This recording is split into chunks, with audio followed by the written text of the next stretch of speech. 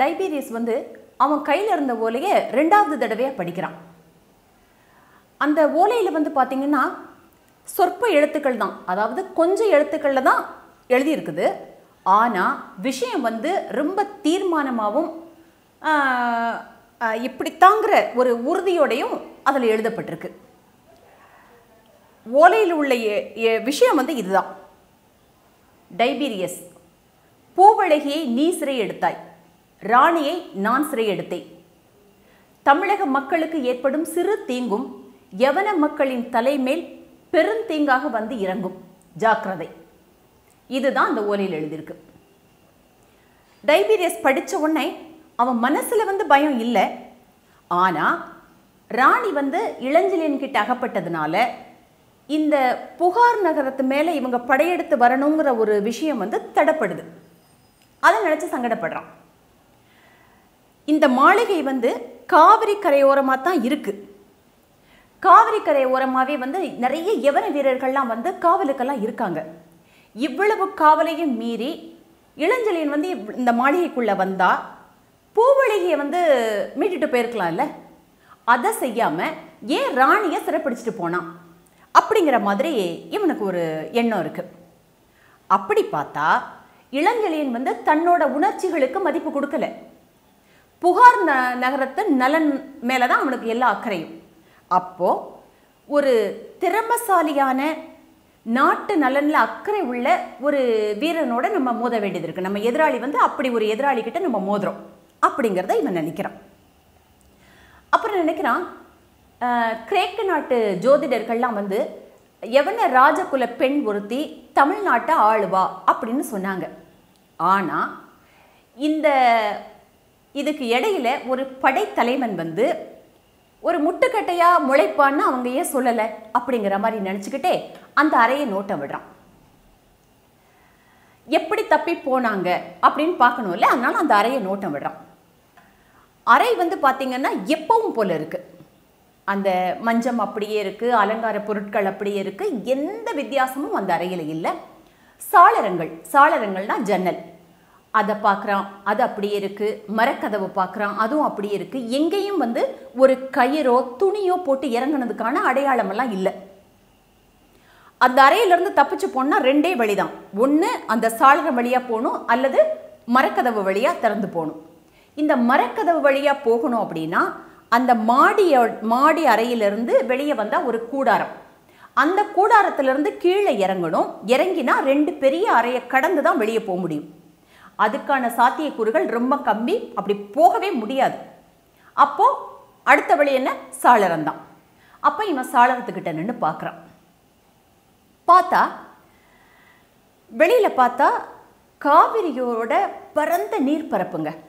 அப்படி வர்ண ஜாலத்தோட அவ்வளவு அழகு.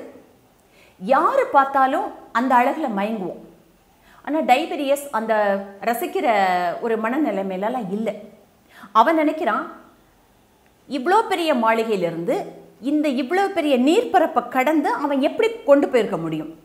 அப்படிங்கிற யோசனை தான் டைபீரியஸ்க்கு இருக்குது இப்படி பார்த்துட்டு இருக்கும்போதே அந்த சாளரத்திலிருந்து எதிர்பக்கத்தில் பார்த்தா வானகர குன்று தெரியுது.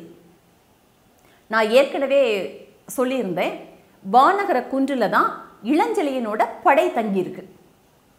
அதை டைபீரியஸ் பார்க்குறான். பார்த்தா அது எப்படி இருக்குன்னா அங்கே வந்து பெரிய பெரிய உயரமான மாளிகைகள்லாம் இல்லை. மலை அடிவாரத்திலிருந்தே வீடுகள் இருக்குது இங்கேருந்து அந்த வீடை வீடுகளை அமை அந்த அமைப்பை பார்த்தா சக்கரை வடிவில் இருக்குது ஒன்று மேலே ஒன்றா இருக்குது வளைஞ்சு வளைஞ்சு இருக்குது அப்போ இவன் நினைக்கிறான் அந்த இடத்துக்கு ஒருவேளை ராணியை சிறைப்பிடிச்சு போயிருந்தா அங்கேருந்து அவளை காப்பாற்றி கொண்டு வர்றது அவ்வளவு எளிதான விஷயம் இல்லை. அப்படின்னு நினச்சிக்கிட்டே சரி இப்படி யோசிச்சுக்கிட்டே நேரம் கடத்துறது நல்லா இருக்காது. ஏன்னா ராணி எங்கே இருக்கான்னு பார்க்கணும் காப்பாற்றணும் அப்போ ஒரு வீரனை கூப்பிட்டு கோட்டை தலைவனை வர சொல்கிறான் கொஞ்ச நேரத்தில் கோட்டை தலைவனும் வந்துடுறான். வந்த உடனே இவன் கேட்குறான் கோட்டை தலைவரே நீங்கள் இங்கே வேலைக்கு சேர்ந்து எவ்வளவு நாட்கள் ஆச்சு? அப்படின்னு கேட்குறான் அப்போ கோட்டை தலைவர் சொல்கிறாரு இருபது வருடங்கள் ஆச்சு அப்படின்னு. அப்போ டைபீரியஸ் கேட்குறான் இவ்வளவு காலங்களில் உங்கள் கண்காணிப்பை மீறி யாராவது இந்த புகார் நகரத்துலேருந்து வெளியேறியிருக்காங்களா அப்படின்னு. அப்போ கோட்டை தலைவர் சொல்கிறாரு ஏராளமானோர் போயிருக்காங்க ஏன்னா இது தமிழ்நாடு நம்ம நாடு கிடையாது. இங்கே வர்றவங்க போகிறவங்களுக்கெல்லாம் எந்த கண்காணிப்பும் கிடையாது அப்படிங்கிறார். அப்போ டைபீரியஸ் கேட்குறான் அனுமதி சீட்டெல்லாம் வேண்டாமா அப்படின்னு. அப்போ இவர் சொல்கிறாரு அப்படி எதுவுமே வேண்டாம். ஏன்னா உதவி கோரி வர்றவங்களுக்கு உதவி செய்ய சொல்லி மட்டும்தான் அரசரோட ஆணை. அப்படின்னு. அப்போ டைபீரியஸ் வந்து ரொம்ப ஆச்சரியமாக பார்த்துட்டு கேட்குறான் அப்போ எதுக்கு கோட்டை வாசல் இருக்குது எதுக்காக அங்கே வீரர்கள் காவலுக்கு இருக்காங்க அப்படின்னு கேட்குறான் அப்போ இவர் சொல்கிறாரு எதிரிகள்கிட்ட இருந்து பாதுகாத்துக்கிறதுக்காக. ஏன்னா நீர்ப்பரப்பு வழியாகவும் அதாவது கடல் வழியாகவும் நிலப்பரப்பு வழியாகவும் எதிரிகளோட தாக்குதல் இருக்கலாம் இதுக்கு வரலாம் போருக்கு வரலாம் அதெல்லாம் கண்காணிக்கிறதுக்காகவும் தடுக்கிறதுக்காகவும் இந்த அமைப்பு இருக்கு அப்படின்ட்டு.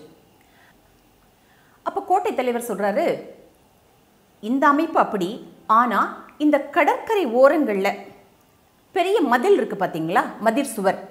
இதுக்கு வந்து வேற காரணம் அப்படிங்கிறார். அப்போ டைபீரியஸ் கேட்குறா என்ன காரணம் அப்படின்னு? இதுக்கான காரணம் சில நாட்களில் கடல் பொங்கி அந்த கடல் தண்ணீர் வந்து ஊருக்குள்ளே போயிடும் அதை தடுக்கிறதுக்காக தான் இந்த மதில் சுவர்லாம் இருக்குது அப்படின்னு. அப்போது இவன் கேட்குறான் அப்போ இந்த இந்த தண்ணி போனால் பிரச்சனை நிறைய இருக்கும்ல? அப்படின்னு இவன் இயல்பாக கேட்குறான் டைபீரியஸ் கேட்குறான் ஆமாம் ஏன்னா இங்கே வந்து நிறைய பரதவர்கள் அதாவது மீன் பிடிக்கிற தொழில் பண்ணுறவங்க பரதவர்கள் இருக்காங்க. அவங்க குடிசைகளுக்குள்ளெல்லாம் தண்ணி போயிடும் அதனால் அதை பாதுகாக்கிறதுக்காக இந்த கோட்டை சுவரை கட்டியிருக்காங்க. சில நாட்களில் மூணு நாலு மூணு மூன்று நான்கு தினம் கூட இந்த அலையானது அப்படியே போய் போய் அடிக்கும். அந்த மாதிரி நேரத்தில் பரதவர்கள் அவங்களோட வீடுகள் கூட தண்ணீரில் மறைஞ்சிரும்.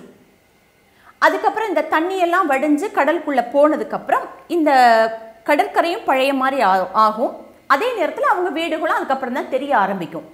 அப்படின்னு சொன்ன உடனே டைபீரியஸ்க்கு வந்து முகத்தில் ஒரு ஆச்சரியமும் வியப்பும் இருக்குது அப்போ இவன் கேட்குறான் பரதவர்கள்னா யாரு அப்படின்னு?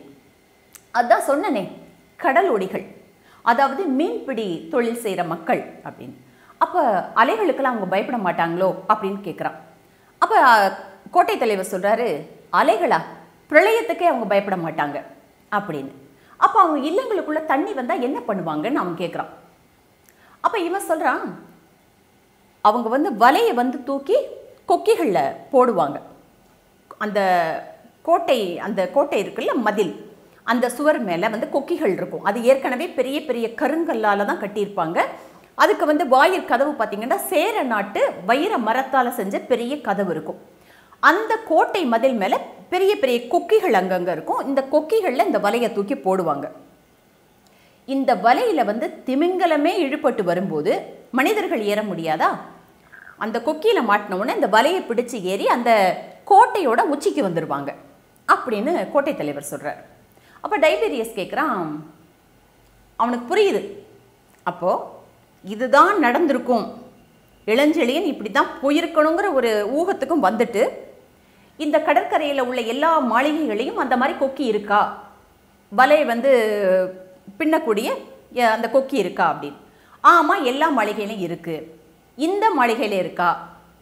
இருக்குது வாங்க காட்டுறேன்னு சொல்லிட்டு உச்சிக்கு மாடிக்கு போய் காட்டினா அங்கே அந்த கொக்கி இருக்குது அப்போ இளஞ்செழியனுக்கு ஓரளவுக்கு எல்லாமே புரியுது. அப்போ இப்படித்தான் இ- இது இருந்திருக்கணும் அப்படின்ட்டு. அப்போ அவன் மனசில் நினைக்கிறான் உச்சியிலிருந்து கீழே நீர்ப்பரப்பை பார்த்தா நூறு முழ இடைவெளி இருக்குது அப்போ ஒருத்தன் கீழே இருந்து ஒரு வலையை அவ்வளோ பெரிய அங்கே உயரத்தில் இருக்க கொக்கியில் வீசி அவன் ஏறி வந்து ஒரு பெண்ணை தூக்கிக்கிட்டு அதில் இறங்கி தப்பிச்சு போயிருக்கான்னா மிகப்பெரிய திறமசாலி. அப்போது இந்த தமிழ் வீரர்களே திறமையானவர்கள் தான் இவங்களை நேரடியாக எதிர்த்தா கஷ்டம்தான். அப்போ குள்ள நெறித்தனமாக ஏதாவது ஒரு யோசனை பண்ணி தான் இவங்களை எதிர்க்கணும். ஒரு தமிழனை வச்சே தமிழனை வெட்டுனா தான் முடியும். இதை பிற்காலத்தில் இந்த ஒரு யோசனையை தான் நம்ம செயல்படுத்தணும். அப்போ தான் பூம்புகாரை கைப்பற்றலாம் அப்படிங்கிற ஒரு எண்ணத்துக்கு வந்துட்டு திரும்பவும் கோட்டை தலைவர்கிட்ட பேச்ச ஆரம்பிக்கிறான். உங்கள் ராஜா இறந்ததா உங்களுக்கு எப்போ செய்தி வந்தது? அப்படின்னு கேட்குறான் அப்போ அவன் சொல்கிறான் நீங்கள் ஊருக்குள்ளே வந்தீங்கள்ல அன்னைக்கு ராத்திரி தான் அப்படின்னு. அப்போது அரசர் இறந்ததுக்கப்புறம் அடுத்து யாரும் இல்லையா? அப்படின்னு கேட்குறான் இருக்காரே இளவரசர். அவர் எங்கே இப்போ? அப்படின்னு கேட்குறான் இல்லை அவர் எங்கேயோ மறைஞ்சிருக்கிறாருன்னு எனக்கு தகவல் வந்தது. அப்போ உறையூரில் அரச பீடத்துக்கு அடுத்து யார் வருவா? யார் கையில் இப்போ இருக்கு? அப்படின்னு டைபீரியஸ் கேட்குறான் அப்போ கோட்டை தலைவர் சொல்கிறாரு அதுக்கான எந்த தகவலையும் தூதன் வந்து எனக்கு தெரியப்படுத்தலை. மறுத்துட்டான். ஆனால் உறையூரில் நிலைமை சீராகிற வரைக்கும் இங்கே உள்ள நிர்வாகத்தை நான் பார்க்குறதுக்கான ஒரு ஓலை வந்து எனக்கு வந்தது அப்படின்னு. அப்போ அந்த ஓலையில் யார் கையெழுத்து இருந்தது எப்பவும் போல முதன் மந்திரியோட கையெழுத்து தான் அது இருந்தது. நான் தான் இங்கே நிர்வாகத்தை பார்த்துக்கணும் அப்படிங்கிறதுக்கான உறுதி உறுதியோட ஒரு ஓலை வந்திருந்தது. முதன் மந்திரியோட கையெழுத்து தான் அது. ஆ, அதுவும் போக புலி இலச்சினை ப அந்த முத்திரை தான் அதுலேயும் இருந்தது அப்படின்னு இவர் சொல்கிறார் கோட்டை தலைவர். அப்போ இவர் சரி அப்படி பார்த்துட்டு இவன் மனசில் என்ன யோசிக்கிறான்னா உறையூரில் என்ன பிரச்சனை நடக்குதுன்னு யாருக்கும் தெரியல. ஏதோ ஒரு பிளவு ஒரு அரசியல் சூழ்ச்சி அங்கே நடக்குது. ஆனால் யாரால் நடக்குது ஏன் நடக்குது உள்ளுக்குள்ளே என்ன பிரச்சனைகள் ஓடிட்டுருக்குன்னு தெரியலை.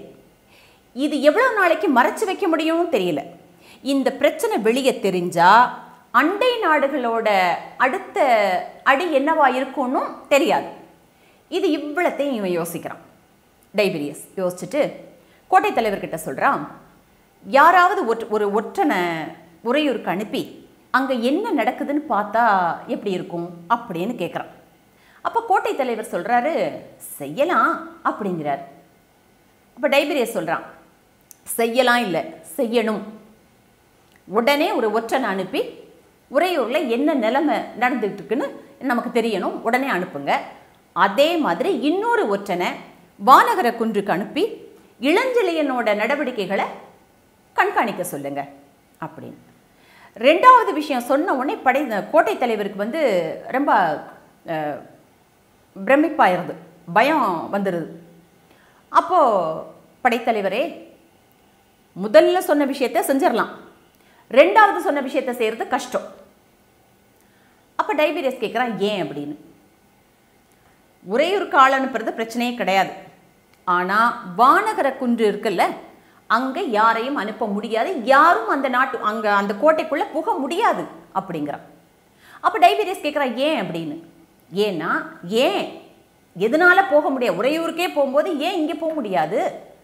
அப்படின்னு கேட்டு அது தனி தனிப்படையா? அப்படின்னு கேட்குறான் தனிப்படல்ல தனி ராஜ்யம். அப்படிங்கிறான் கோட்டை தலைவன். இவன் வியப்பா பார்க்குறான் என்ன? அப்படின்னு. அதுக்கப்புறம் தான் கோட்டை தலைவன் சொல்கிறான் இளஞ்செழியனோட படையில் தமிழர்கள் யவனர்கள் மற்றவர்கள் எல்லாம் கலந்து தான் இருக்காங்க. அவங்களுக்கு தெரிஞ்ச ஒரே தலைவன் இளஞ்செழியன் மட்டும்தான். இளஞ்செழியன் சொன்னால் அவனுக்காக உயிரை கூட கொடுப்பாங்க. அப்போ டைபீரியஸ் ரொம்ப ஆச்சரியமாக கேட்குறான் யவனர்கள் கூடவா அப்படின்னு. கோட்டை தலைவர் ஆமாம் அப்படிங்கிறான். யவன ராணி இங்கே இருக்காங்களே அப்போ கூடவா அப்படிங்கிறான். ஆமாம் ஏன்னா ஹிப்பலஸ் நீங்கள் பார்த்தது இல்லையா? அங்கே உள்ள எல்லாருக்கும் அதுதான் குலம். அவங்களோட குலமே அந்த படை தான் அவங்களோட தனிப்பட்ட அவங்களோட சொந்த குலம் நாடு மக்கள் எல்லாத்தையும் அவங்க மறந்துருப்பாங்க. அவங்களுக்கு அவங்களுக்கு தெரிஞ்ச ஒரே தலைவன் இட இளஞ்செழியன் தான். அப்படின்னு சொல்லிட்டு சொன்ன உடனே டைபீரியஸ் கேட்குறான் எதனால இளஞ்செழியனுக்கு அவ்வளோ சிறப்பு? அப்படின்னு. அப்போ கோட்டை தலைவன் சொல்கிறாரு இளஞ்செழியனோட நேர்மை போர் திறமை இன்னைக்கு ஒரு வீரன் ஒரு ஏழ்மை நிலையில் இருக்கிற ஒரு வீரன் இளஞ்சலியன் படையில் சேர்ந்தா ஒரு வருஷத்துக்குள்ள பணக்காரனம் பணக்காரனாகவும் ஆயிடுவான். மிகப்பெரிய போர் வீரனாகவும் ஆயிடுவான். அதுவும் போக அந்த படையில் மூவாயிரம் வீரர்கள் இருக்காங்க. இதுக்கு முன்னாடியெல்லாம் சோழர் சோழர் அரச அரசுக்கு போர் வந்தப்போ இந்த புகாரை காப்பா காப்பாற்றினது இந்த படை வீரர்கள் தான் புகார் வந்து எந்த அச்சுறுத்தலுக்கும் ஆகாத அளவுக்கு இவங்க வந்து சண்டை போட்டு காப்பாத்துறது இந்த படை தான் அதே மாதிரி சோழர் அந்த நாட்டில் வந்து நிறைய படைகள் சின்ன சின்ன படைகள் இருக்குது எல்லா படையுமே வந்து பெரிய தண்ட நாயகர் அவரோட அதிகாரத்துக்கு உட்பட்டது தான் வரும். இவர் பட ஒன்று தான் யாரோட அதிகாரத்துக்கு கீழேயும் கிடையாது. இவர் பட தனிப்பட. அப்படின்னு சொன்ன உடனே டைபீரியஸ் ரொம்ப யோசிக்கிறான். என்ன செய்யறது அப்படின்னு யோசிச்சுட்டு நீங்கள் போங்க அப்படின்னு சொல்லிட்டு அவரை அனுப்பிட்டு ஹிப்பலஸையும் பிரம்மானந்தரையும் சிறை வைக்கிற மாதிரி வச்சு ரெண்டு காவலாளிகள் இருக்காங்கல்ல அதில் ஒருத்தனை வர சொல்கிறார் அவன் வந்து டைபீரியஸ் கிட்ட என்னன்னு கேட்கும்போது டைபீரியஸ் கேட்குறான் ஹிப்பாலஸோ பிரம்மானந்தரோ தப்பிச்சு போனால் நீ என்ன செய்வ? அப்படின்னு. கண்ட இடத்துலையே வெட்டிடுவேன் அப்படிங்கிறான். இல்லை. தப்பிச்சு போக விடு. அப்படிங்கிறான். வந்தவனுக்கு ரொம்ப வியப்பாக இருக்கு. அப்போ இவன் சொல்கிறான் நல்லா கவனிச்சுக்கோ. நான் சொல்கிறத அந்த இடத்துல இருந்து யார் தப்பிச்சு போனாலும் தப்பிச்சு போக விட்டுரு. ஆனால் காவல் வந்து பலமாக இருக்கிற மாதிரி காட்டணும். அப்படிங்கிறான். அப்போ வந்தவன் சொல்கிறான் சரின்னு சொல்லிட்டு தப்பிச்சு போகிறவங்கள வேணால் நான் கண்காணிக்கட்டுமா பின்னாடி போயின்னு கேட்குறான் அப்போ டைபீரியா சொல்கிறான் வேண்டாம். அப்படி போக விடு. அப்படின்னு சொல்லிட்டு அவன் அவனும் போன உடனே இவன் வந்து தூங்கணும்னோ குளிக்கணும்னோ எந்த எண்ணமும் இல்லை. இவன் கிளம்பி எங்கே போகிறான் சுங்கத்துறைக்கே போகிறான் போயிட்டு சுங்கத்துறையிலிருந்து மாளிகையை பார்க்குறான்.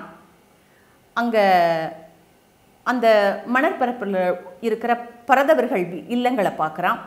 கொஞ்சம் தள்ளி படகு கட்டியிருக்கிற இடங்களை பார்க்குறான். அப்படியே அந்த வானகர குன்றை பார்க்குறான்.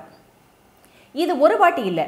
அன்னைக்கு பகல் முழுசும் ஒரு ரெண்டு மூணு தடவை வந்து இதை இப்படியே கவனிக்கிறான். கவனிச்சுட்டு யவனர் சாரி பரதர்கள் மாதிரி உடை உடுத்திக்கிட்டு அந்த பரதவர்கள் குடியிருப்புக்குள்ளே போகிறான் போயிட்டு இந்த மாதிரி படகு வேணும் படகு ஓட்டணும் நீங்கள் வரீங்களான்னு கேட்குறான் அப்போ அவங்களுக்கு என்ன வேலை தானே? அவங்க தான் இரவு பகல் பார்க்காம உழைக்கிறவங்களாச்சே. அவங்க வரேங்கிறாங்க நல்ல ராத்திரி ரெண்டாவது ஜாம் ஆக போகுது. இவன் வந்து அந்த வரேன்னு சொன்ன படகுல படகு ஓட்டுறவங்களையும் கூப்பிட்டுக்கிட்டு ஒரு படகுல ஏறி கிளம்புறான் நதியில். படகு ஓட்டுறவங்களுக்கு யாருன்னு தெரியாதுல்ல அவங்க என்ன நினைக்கிறாங்க? ஏதோ உல்லாசமாக சுற்றி பார்க்க வந்திருக்கான்னு அவங்க நினைக்கிறாங்க. ஆனால் ரெண்டாவது ஜாம் ஆகி வந்ததுக்கு தான் யோசிக்கிறாங்க இந்த ராத்திரி போய் என்னத்தை பார்க்க போகிறான் சரி கூப்பிடுறான் போவோம் அப்படின்ட்டு அவங்க படகை வலிச்சிட்டு அவங்களும் வராங்க. இந்த ரொம்ப நிசப்தமான இரவு இல்லையா? இந்த படகோட துடுப்பு சத்தம் மட்டும்தான் கேட்குது படகு எப்படி வருதுன்னா அந்த இவன் இருக்கிற மாளிகையோட பின்பக்கத்தில் வந்துக்கிட்டு இருக்கு. கொஞ்ச தூரம் வந்த உடனே செடி தழைகள்னு சொல்லுவாங்க. செடி கொடிகள்லாம் இருக்கிற ஒரு கொஞ்சம் ஒரு சின்ன இடம் மாதிரி இருக்குது அதில் படகை நிறுத்தி கட்ட சொல்கிறான் அதே மாதிரி அவங்களும் கட்டுறாங்க. ரொம்ப நேரம் காத்துட்ருக்கான் அங்கேருந்து மாளிகையை பார்க்குறான். ஏதாவது ஒரு அசைவு இருக்கா? என்னமாவது நடக்குதா பார்க்கலான்னு சொல்லிட்டு இவன் பார்த்துக்கிட்டே இருக்கான். எதுவுமே நடக்கலை. இந்த படகு ஓட்டுறவங்க வேற கேட்குறாங்க எவ்வளவு நேரம் இருக்கணும் எவ்வளவு நேரம் நிற்கணும் பிரபுன்னு வேற கேட்குறாங்க இவனுக்கு அவங்களும் எதுவும் நினச்சிடக்கூடாது. இங்கேயும் ஒரு ச- ஒரு அசைவும் இருந்த மாதிரி தெரியலை. அப்போ இவன் நினைக்கிறான் இந்த சிறைப்பட்டவங்களுக்கு தப்பி போகணுங்கிற எண்ணம் கூட இல்லை போல. பேசாமல் தூங்கிட்டாங்க போல. நம்ம போகலாம் அப்படின்னு இவன் நினைக்கும் போது மாளிகையோட மாடியில் ஒரு அசைவு.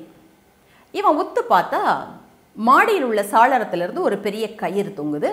அந்த கயிறை பிடிச்சிட்டு ஒரு உருவம் வந்து இறங்குது. அது இறங்கின இறங்குறதுக்கும் இந்த நதிக்கரையில் எதிர்ப்பக்கத்திலிருந்து ஒரு படகு வேகமாக போகிறதுக்கும் சரியாக இருக்குது இவன் அந்த படகை பார்த்துக்கிட்டே இருக்கான். படகு வேகமாக போய் அந்த இறங்கின உருவம் அந்த படகுலையும் இறங்கிருச்சு. உடனே படகு வேகமாக புறப்படுது. அப்போ டைபீரியை சொல்கிறான் படகு ஓட்டுறவங்கள பார்த்து படகு அவு அவு அவுத்துருங்க. அந்த படகை பின்தொடர்ந்து போங்கங்கிறான். அதே மாதிரி இந்த படகும் அந்த படகை பின்தொடர்ந்து வருது. இதை முன்னாடி போன படகு பார்த்துருச்சு. பார்த்த உடனே இன்னும் வேகமாக போகிறாங்க அந்த படகுல உள்ளவங்க. இவனும் வேகத்தை கூட்ட சொல்கிறான் ஸோ ரெண்டு பேரும் வேகமாக போய்கிட்டு இருக்காங்க. கிட்டத்தட்ட வானகர குன்றுக்கு ஒரு சில அடிகள் இருக்கிற தூரம் தான் இருக்குது ஒரு சில அடிகள் தான் அந்த தூரம் இருக்குது வானகர குன்று அந்த படித்துறைக்கு போகணும். இந்த முன்னாடி போன படகு சட்டுன்னு திசையை மாற்றுது திரும்புது. அப்போ டைபீரியஸ் யோசிக்கிறா ஏன்னா பக்கத்தில் வந்ததுக்கப்புறம் ஏன் அவங்க திசை திரும்புகிறாங்க அப்படின்னு யோசிக்கும் போதே அந்த படகு இந்த டைபீரியஸோட படகை நோக்கி தான் வருது வேகமாக வந்து ஒரு சுத்து சுற்றி வளைச்சிருது. வளைச்சா அந்த முத படகுல இருந்து ஒரு அதிகார குரல் கேட்குது படகை முன்னாடி செலுத்து அப்படின்னு. இவன் பார்க்குறான் அந்த படகை ஒரு ரெண்டு வீரர்கள் நிற்கிறாங்க அம்பை எடுத்து வில்ல அதில் வச்சு தயார் நிலையில் இருக்காங்க டைபீரியஸ் பார்த்து. டைபீரியஸ் புரிஞ்சுக்கிட்டான். நம்ம தனியாக வந்து மாட்டிக்கிட்டோம். இப்போ எதுவும் பண்ண முடியாது. ஏன்னா வில்ல வேற ஏ நம்ம மேலே இது பண்ணுறதுக்காக தயார் நிலையில் வேற இருக்காங்க. இப்போ நம்ம எதுவும் செய்ய வேண்டாம் அப்படின்ட்டு படகு ஓட்டுறவனை பார்த்து முன்னாடி போங்கிறான். டைபீரியஸோட படகு முன்னாடி போது இன்னொரு அந்த வந்த படகு பின்னாடி போகுது. படித்துறை கிட்ட வந்தாச்சு. வந்த வந்தாச்சு. ரொம்ப இருட்டாக இருக்குது அந்த இடம். திடீர்னு பார்த்தீங்கன்னா ஒரு தீப்பந்தை வச்சு பயங்கரமான வெளிச்சம். இந்த வெளிச்சத்தை பார்த்தோன்னே டைபிரஸ் டைபீரியஸ் வந்து ஆச்சரியப்படுறான். என்ன இது? இவ்வளோ நேரம் இருட்டாக இருந்துச்சு அதுக்குள்ளே வெளிச்சம் வந்துருச்சு அப்படின்னு நினைக்கிறான். அந்த ஆச்சரியம் மட்டும் இல்லைங்க இன்னொரு ஆச்சரியமும் அவனுக்கு இருக்கு. அத்தனை வீரர்கள் மத்தியில் அந்த கவச உடையெல்லாம் உடுத்தி இளஞ்செழியன் அப்படி சிரிப்போட நிற்கிறாங்க